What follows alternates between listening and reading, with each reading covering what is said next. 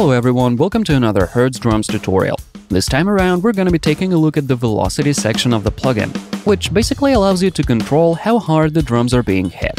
For each instrument we have recorded six dynamic groups of samples, from the softest and quietest hits to the hardest and loudest. So by adjusting the min and max parameters in this section, you can tell the plugin not to use some of these sample groups. Let's see how it works with the kick drum. Now listen closely to this groove As you can see and hear, the kick drum is playing very dynamically. There are some ghost notes, some really hard hits, and also some hits in between.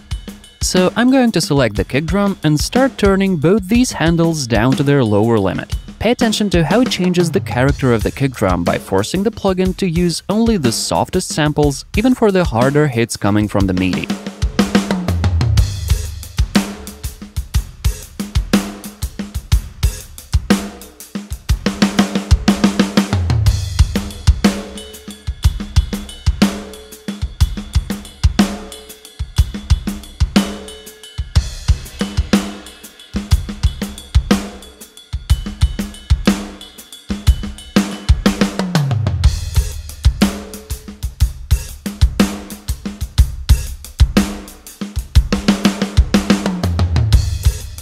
Now the plugin is using only the softest and quietest samples.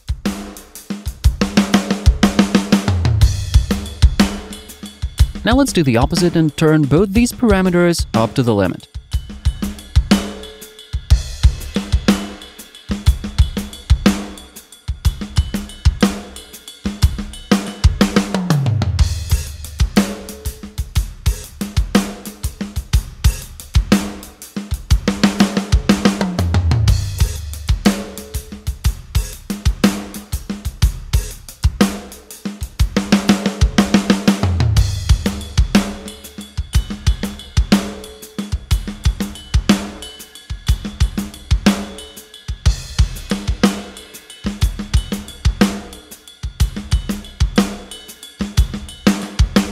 As you can hear, now the plugin is using only the hardest and loudest samples for all the notes played by the kit.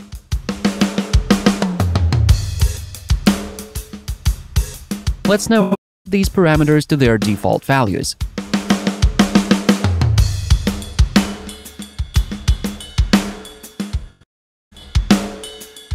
As the plugin is now using the whole range of samples, I'm getting a feeling that the kick drum is being hit a little bit too hard for this particular beat.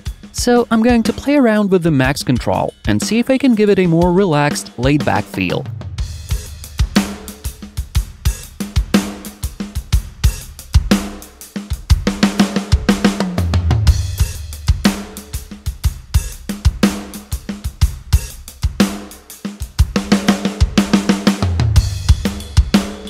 Yep, I like it somewhere around here.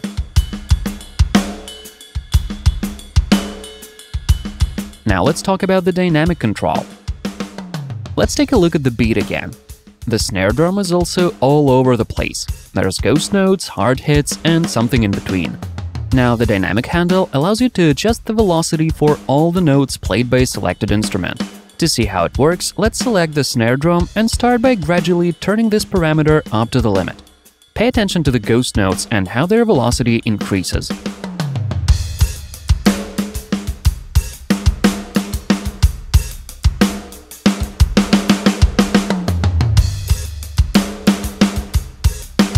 Now all the notes on the snare drum and even the ghost notes are being treated by the plugin as high velocity hits. Now let's turn this parameter down.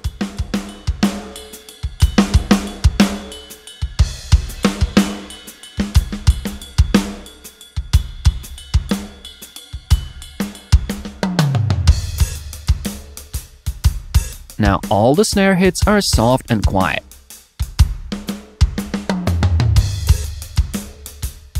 As you can see, this is a handy feature that allows you to change the overall feel of the drums without making any changes to the actual notes in the MIDI editor. That's all for today. Thanks for watching and stay tuned.